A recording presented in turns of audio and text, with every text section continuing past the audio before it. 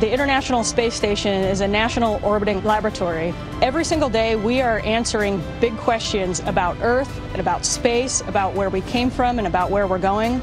But the other thing that we're doing is we're learning more questions to ask. And so the question really, I think that's important to say is who are we if we stop exploring?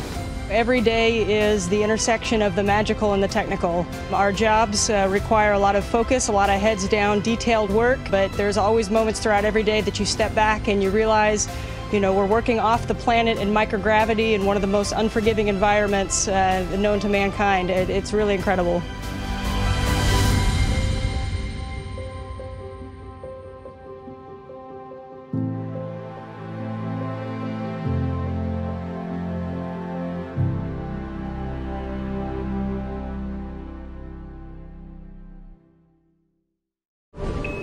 Subscribe for more space.